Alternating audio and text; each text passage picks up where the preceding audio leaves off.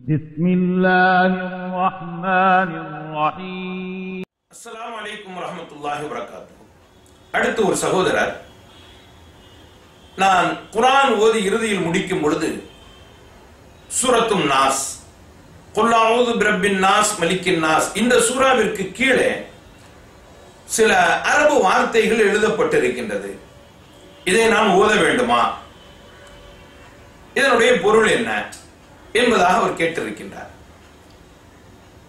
சகோதரரே சூரத்தும் நாஸ் முடியும் பொழுது குரான் முடிந்து விடுகிறது. இதற்கு கீழ் குரான் கிடையாது. அதற்கு கீழ் இருப்பது ஒரு சிறிய துவா.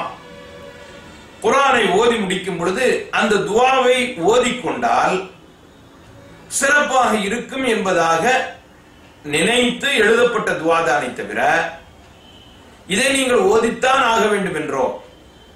ஓதாமல் சென்றால் நீங்கள் குற்றம் பிடிக்கப்படுவீர்கள் என்றோ எதுவுமே கிடையாது. அல்லாஹும் கபரி.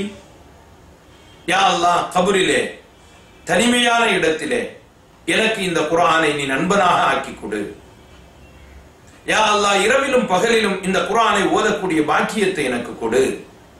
இவ்வாறு அந்த துவாவில் குறிப்பிடப்பட்டிருக்கின்றது. பல்வேறு ஹதீசுகளினுடைய பொருளை அந்த துவாவிலே ஒன்று சேர்க்கப்பட்டிருக்கின்றது. அவ்வளவுதான். இது நேரடியா ஹதீசனுடைய வாக்கியமும் கிடையாது. நீங்கள் ஓதாவிட்டால் இதற்கு குற்றமும் கிடையாது. நீங்கள் ஓதித்தான் ஆக வேண்டும் என்ற கட்டாயமும் கிடையாது. நீங்கள் நாடினால் இதனுடைய பொருள் இதுதான். பொதுவாக குரானை ஓதி முடித்து விட்டு அல்லாஹ்விடத்திலே நீங்கள் துவா செய்யுங்கள் யா அல்லாஹ். எனக்கு நான் ஓதக்கூடிய இந்த குரானை கபரிலே எனக்கு நண்பனாக ஆக்கிவை. ஏனென்றால் அது விருட்சியினுடைய இடம். வெறுமையின் இடம். அந்த நேரத்தில் நான் தனியாக இருப்பேன். அந்த தனிமையை தீர்க்கும் விதமாக இந்த குரானை எனக்கு நண்பனாக்கி கொடு. இரவு பகலாக அதை ஓதக்கூடிய பாக்கியத்தை தா. நான் குரானில் ஓதியவைகளில் தவறு இருந்தால் அதை நீ மன்னித்து விடு. இவ்வாறு நான் பொதுவாக குரானை ஓதிவிட்டு அல்லாஹ்விடத்திலே துவா செய்யலாம். இது ஏற்கப்பட்ட ஒன்று.